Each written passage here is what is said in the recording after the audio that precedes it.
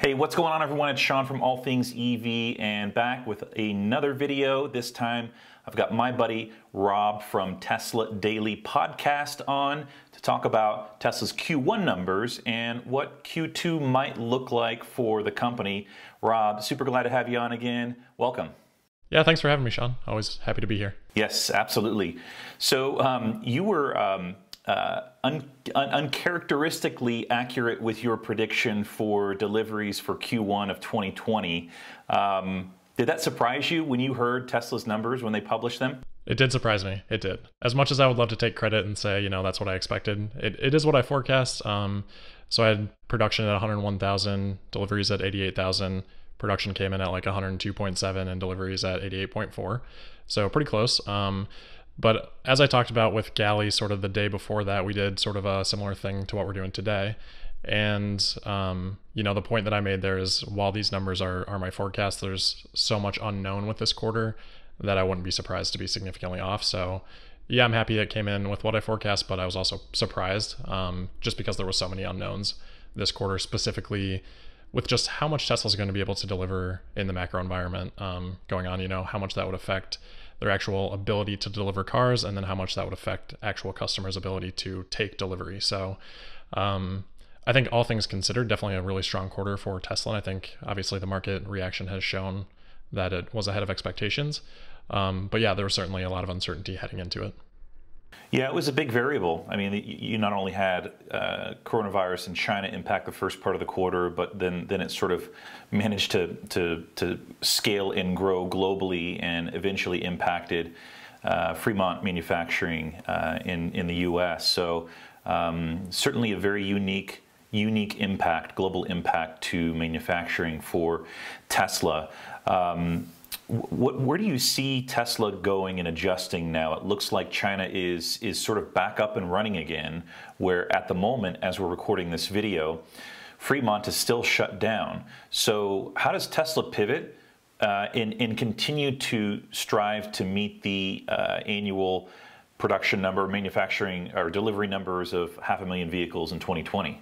Yeah, for sure. And I think that was one of the interesting things about the Q1 production and delivery report. I think a lot of people were looking for an update there on guidance, whether that update be, you know, lowering guidance or sort of just refusing to give guidance or whether that would be reaffirming their 500,000 delivery target.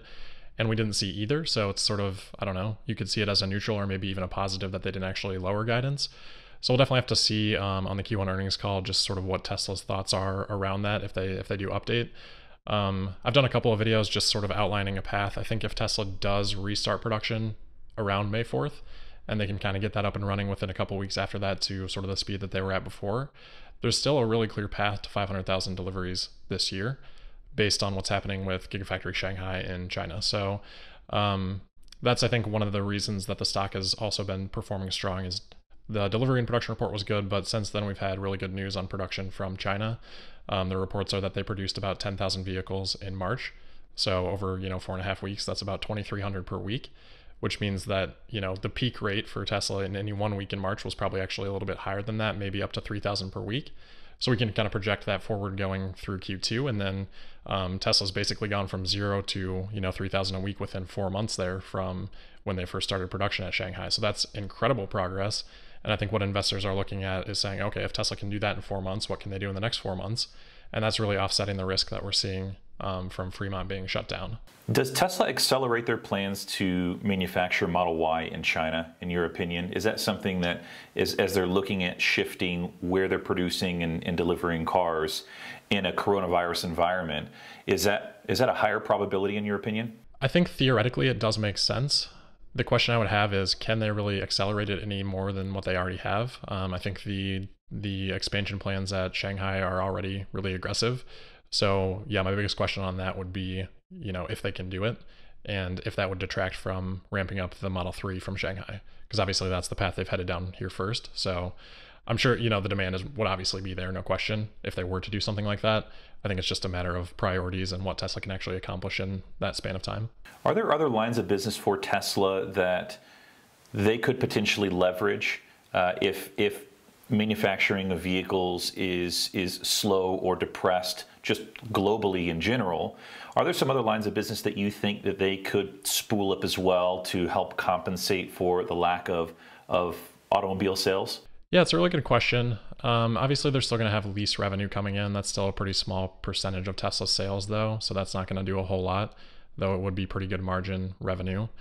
Um, I think solar sort of solar and energy sort of face similar constraints to the vehicle business in terms of Tesla actually being able to produce. Um, so you know maybe if they were able to for some reason get Gigafactory Nevada up and running uh, more quickly and Gigafactory New York up and running more quickly than Fremont, for example, just based on you know Tesla's allowed to operate, but who knows sort of how they play that with the county and things like that. Um, if they were to, you know, get those up and running quicker, then maybe they could generate some revenue off of energy and solar. Um, but I think they're kind of in the same constraint situation right now. The only other one that you know immediately comes to mind would be the ventilator situation, but it sounds like Tesla's going to pretty much donate those, um, which is you know it's obviously a really nice thing for them to do. Um, both working on it and then providing them at either at cost or free, whatever their their plan is there. Um, so that's probably not going to be anything significant from a revenue perspective. So I think we're kind of just waiting there. And then, you know, maybe if there's anything with software, like if um, we're supposed to see some new full self-driving features come out here pretty shortly. We've obviously seen in early access the stoplight and stop sign um, functionality. When Tesla does end up delivering that to a broad set of users, they can start to recognize some revenue from deferred revenue over time from those features that have been missing. Um, so that'll be a revenue boost, and again, that's high margin. Uh, it's not going to cover the loss of vehicle sales, but it is, you know, it might position the financials a little bit, a little bit better. That's not going to affect the cash flow because they've already got the cash, but uh, from a profitability perspective, that would show up. I've kind of kicked around the idea of, of energy storage. You, you you've got governments and hospitals that are continuing to operate in in, in need uh, sustainable sustainable power and, and, energy. Part of me wonders if if they can start to transition and and and be able to have an exemption for manufacturing battery cells for for governments uh, for governments and, and, and hospitals and and the like during this coronavirus. Will, will this thing last long enough? Will the issues last long enough globally for that to, to, to make business sense in your opinion? Um, I think it's sort of a two prong question. Like the, the first piece of it, I would agree. I think the situation that we're in right now probably heightens awareness and heightens demand for, um, you know, having your own sources of energy, not necessarily relying on a third party. Um, so I think from a residential perspective and certainly from a commercial perspective, situations like this just make people think about those risks a little bit more and trying to offset them. And Tesla Energy is a great way to do that um, with more energy independence. Even from a national level, I think that's something to consider. So you have residential, commercial, and the national. Um, so I think there's a lot of macroeconomic forces that sort of benefit Tesla in in those regards. And then in terms of like how the shutdown might, um, you know, how long it lasts and how the impact from that is, I think it's a great point that there would probably be an exemption for projects like that. But Tesla, as an automotive, um, you know, player, they already can technically manufacture. It's more just a an issue of okay, doing what's best for the employees. You know, you have supply chain issues because every supplier is sort of managing this thing a little bit differently. So, you know, if you have one missing part, you can't really ship your vehicle. So maybe with fewer parts and things like that, energy is able to get you know back up to speed a little bit more quickly, but I don't think that would happen from like a regulatory perspective necessarily. I noticed that with the Q1 numbers, we saw um, quite a big difference between production and delivery. Um, I don't follow it as closely as, as you do. So is that is that typical of, of each quarter? Because I seem to recall that there's usually a little bit more parity with the two. So what do you make of that? Is that because they they they started producing and then coronavirus disrupted the ability for Tesla to deliver those vehicles that they produce in the quarter? Yeah, it's a really good question and I think it's something that's pretty often misunderstood because as you say a lot of a lot of the time Tesla is either at parity or they're actually delivering more vehicles than what they produce. So if we go back to 2019, Q2 2019, Q3 2019, Q4 2019, all of those quarters deliveries outpaced production. Obviously, you can't do that forever because you're going to run out of vehicles. Uh, so what you see then is you'll have a quarter where production outpaces deliveries, and then the following quarters you kind of go back to that path. So over time, it obviously evens out. It's just a little bit seasonal in nature about when those um, when you're drawing down from inventory or when you're building it back up. And Q1 was very predictably a build back up quarter, even before all the coronavirus situation um, started to impact things. So my estimate for the spread between production and deliveries was always pretty significant, thousands of vehicles, just because Tesla had shipped, you know, 10,000 more vehicles than they had delivered or than they had produced um, over the last three quarters. So you need to make that up at some point. And the inventory at the end of Q4 was the lowest it's been in four years. They only had 11 days of inventory. That's basically, you know, what's on the ships and not really a, a lot else. So Tesla needs to have it in stores. Um, they like to carry inventory now with the Model 3 being such a high volume product that people can just come in and walk away with a vehicle. Uh, so yeah, it was pretty expected that that would happen. The variability that I talked about was really just like how much inventory would would be remaining. And I think with the deliveries coming in at 88,000, it shows that there was still really strong demand because that sort of a spread between production and deliveries was pretty close to what I had expected prior to all this happening. So I think they pretty much sold what was available and sort of what they intended to in Q1. I think the really interesting question though is like going forward into Q2, how does this impact things? Because I think a lot of the coronavirus stuff, especially in the United States, was happening late in Q1, where a lot of buyers probably had already, you know, made the decision, lined up the financing, everything like that, where you just really have to take delivery of the vehicle. Versus Q2, I think we're going to see more of the economic fallout, and that's I think a lot of uncertainty around that right now. What did you What did you make of? This is the first time that that Tesla combined Model 3 and Model Y because this is the first quarter that they they started delivering them. Were you surprised that they're combining the, the, the, two? It makes it a little bit more difficult to determine how many Model Ys they actually delivered in Q1. Yeah, for sure. Um, I was a little bit surprised. I expected them to give an update on Model Y, and I also expected them to give an update on Gigafactory Shanghai production rate, especially now knowing that it was a pretty strong production month in March from Gigafactory Shanghai, but they failed to mention the specifics on either of those. I think in general, Tesla's trying to get to a place where they're giving less information and a little bit less guidance because they don't necessarily need to. And when they do start to give more information, you know, the Tesla community is is pretty rabid about taking that information and run running with it, um, myself included. So I think they're doing what they can to you know keep information light, uh, which will set them up later to you know surpass expectations versus getting those expectations sort of out of control. And on the piece of guidance which we talked about earlier, I think that's what they did this year with their um, their guidance of 500,000 plus vehicles. Their specific terminology was that they expect to com- comfortably exceed that. Um, so that was pretty clear that they, you know, felt very confident in hitting that number, and that's why I do still think something like that might be possible this year, despite all the stuff uh, that's been going on. Right, because we don't know comfortably hit half a million vehicles could be 600,000, it could be 700,000. So yeah. there, there's a little bit of padding there, which I really appreciate as, as someone who has an interest in following Tesla. It seems like they've matured a little bit in terms of how they, how they, the expectations that they do set to investors and media. Uh, this, this, this does give them some cushion there in the event that they do under deliver their internal expectations. Right. yeah, 100% agree. And I think that's sort of the model that um, Apple followed for so many years, and I think um, it's provided a really clear roadmap for you know how to manage investor relations. The downside of issuing public guidance that you know is attainable is then it's potentially a little bit less motivating for your workforce if they know that the public goals are below what the internal goals are. So I think that's why Tesla historically has given really aggressive guidance and aggressive timelines on things. Um, and I think that's sort of Elon's mentality in general is to you know put something out there and really strive to meet it. And if you don't, um, at least you know you put in your best effort. Versus a more attainable goal. Okay, you achieved it. There's not as much of a motivating factor to go above and beyond that. So I think historically we've seen that from Tesla, but I think lately, you know, as Zach has come on, I think as Martin has had more of an influence, I think them together with Elon have sort of revised their strategy around um, investor relations a little bit. And I think we're starting to see that come out both in the guidance that was issued this year and with the piece about Model Y and not necessarily mentioning some of the things that we may have expected them to mention in the past.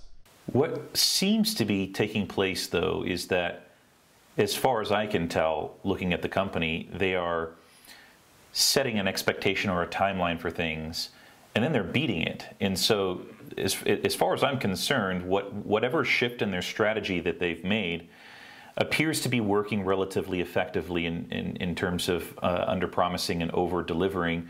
Uh, a really good example is Model Y. I mean, they were they were six months six months ahead of timeline or so um, of their of their their their publicly stated expectation, and that's always good. They should they should do that every single time. Mm-hmm.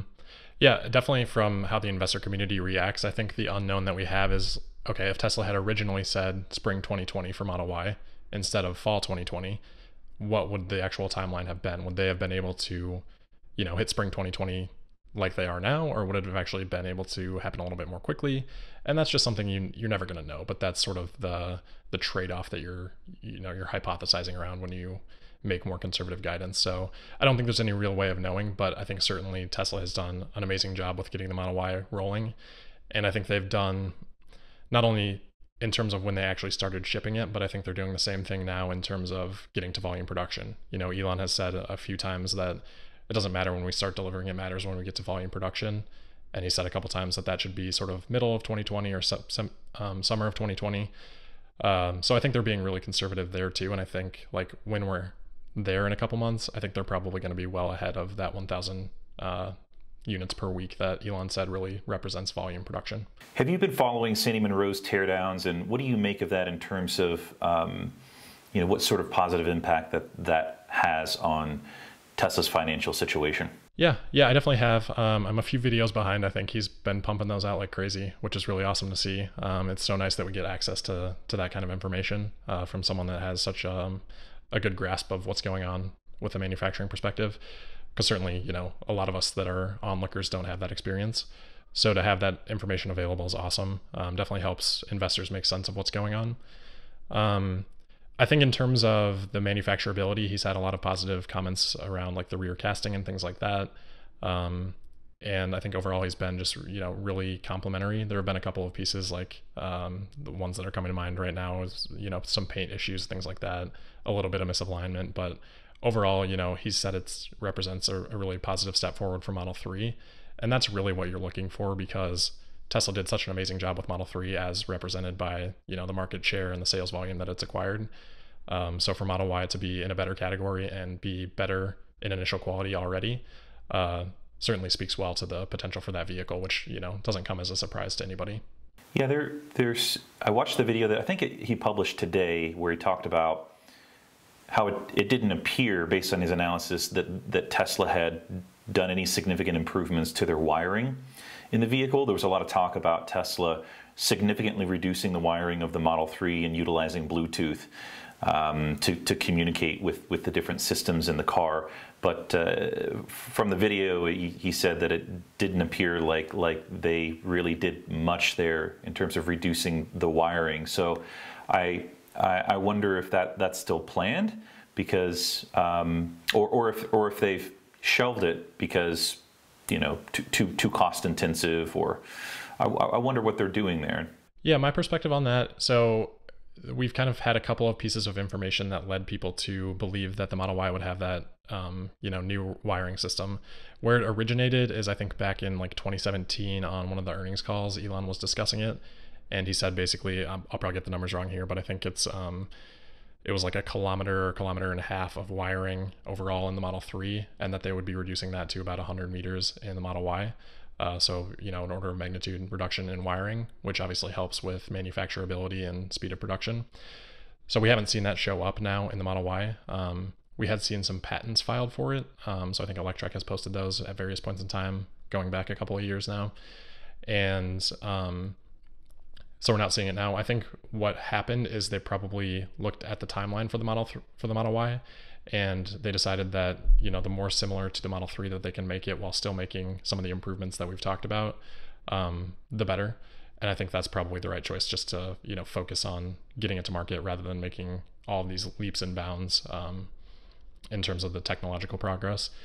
But I don't think that's something that Tesla is shelving. I'm sure we'll see it show up at some point. Um, you know, it, it makes sense for them to be working on it and I, I, would be really surprised if it didn't make sense from a cost perspective. If it was something that was originally sort of in the roadmap, I think Tesla kind of filters those ideas out pretty quickly.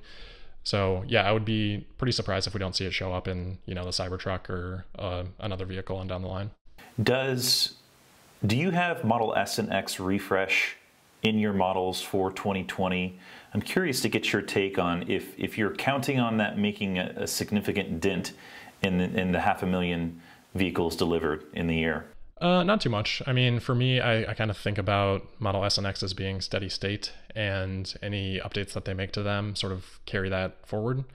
Um, and just as we continue, you know, they become a smaller and smaller piece of revenue for for the investors. I think it's really about Model Three and Model Y, and then uh, sort of secondary to that, full self driving, and then things like the Cybertruck. Those are so much more important to the financials of the business than S and X, even if volume does increase there it would be awesome if we could get back to 100,000 per year like we were sort of before Model 3. Um, but even regardless, you know, even with pretty significant updates, I don't necessarily see that happening. I think the updates do serve to just prove technological prowess that Tesla has and the competitive advantage. And I think that helps with the brand and I think that helps with investor sentiment. So there are a lot of benefits to doing it other than just strictly maybe the improved volume that they could get off an improved product. Because um, I don't I don't necessarily anticipate too much of that happening. But we'll see. I mean, the plaid refresh is, is definitely going to be, you know, that'd be the most significant easily since the Raven update, and then probably even more more than that, maybe back to even when we had the the sort of front fascia refresh. Mm-hmm. Yeah, wonderful. Well, I I think we'll go ahead and wrap up. Uh, with uh, our conversation here, Rob. It's uh, super good to catch up, and thank you for your insight. I really appreciate all the uh, technical financial uh, insight that you provide on a, on a daily basis.